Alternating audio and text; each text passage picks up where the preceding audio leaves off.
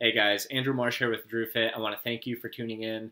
Today I want to talk about certain health claims that I used to believe were going to empower my health, but after doing further research and more practice, um, I've come to find that maybe these health claims are actually fake. So I want to bring a few of these topics to the surface, maybe empower you to do more research and figure out if it's something that maybe you want to eliminate in the future as well. So the first thing I'm going to be talking about is polyunsaturated fatty acids. Now there's really two sources that we can be talking about. The popular one in the health community is nuts and seeds, um, which I do believe serve a purpose maybe in a famished state as they are longer chain fatty acids. But I'm not going to get into that. The PUFAs that I'm talking about today are the ones that are being used in a lot of our foods, a lot of people are cooking in these oils, uh, vegetable oils, things like canola oil, uh, sunflower oil, safflower.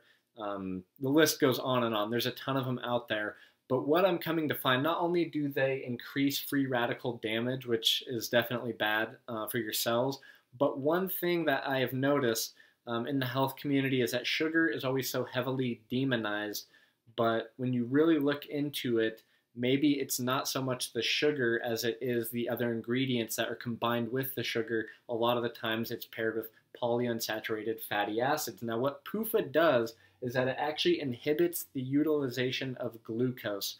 So, what this means when it's released into the bloodstream, that your body is not able to metabolize and use the glucose as it should. And what we're seeing a lot of the times is a lot of these studies claim that diabetes or cancer or heart disease, and all of these things are heavily correlated with lots of uh, sugar consumption.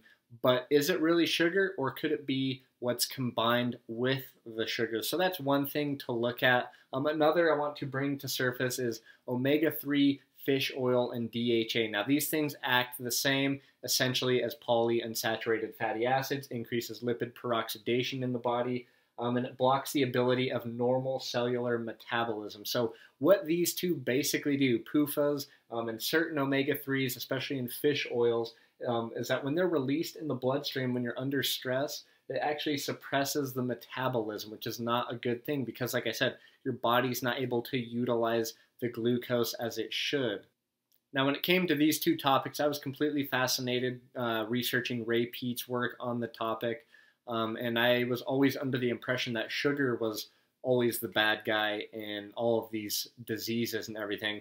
But maybe it's not the sugar. Maybe it's because your body is not utilizing them appropriately due to some other component that you're consuming. And um, it's starting to look like PUFA or certain omega 3s, uh, fish oils, and DHA may be the reason for that. Now, the next thing I found pretty fascinating was serotonin and its correlation with it being a good hormone when having it in elevated levels. I was always under the impression that if you're dealing with things like ADD, anxiety, or depression, that it was because you had stomach issues, that your stomach wasn't producing enough um, serotonin, because serotonin is created in the gut, about 80 to 90% of it, and that it was all correlated with having low serotonin levels as to why you're having poor mental function, which actually may not be true. And when I'm looking at Dr. Ray Peat's work, I'm constantly finding that people that have high endotoxins in their stomach or elevated levels of cortisol, higher levels of stress,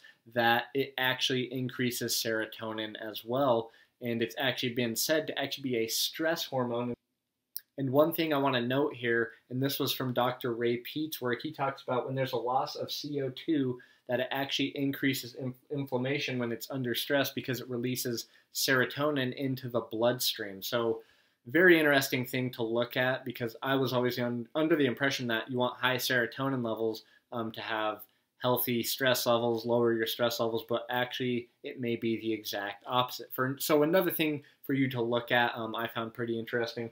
Now, the last thing I want to talk about in regards to certain health claims, a popular one today is that sugar or glucose or fructose or having elevated levels of any kind of sugar is a very bad thing and it's not a primary fuel source for the body. I'm not going to try to convince you with it. I'm going to leave you with a couple things um, that I've noticed in research that I've done lately um, through Dr. Ray Peat's work. Um, he talks about when under stress, glucose is the immediate source of energy for activating the thyroid appropriately. So pretty important because we all want healthy thyroid function, especially if you're trying to achieve optimal health.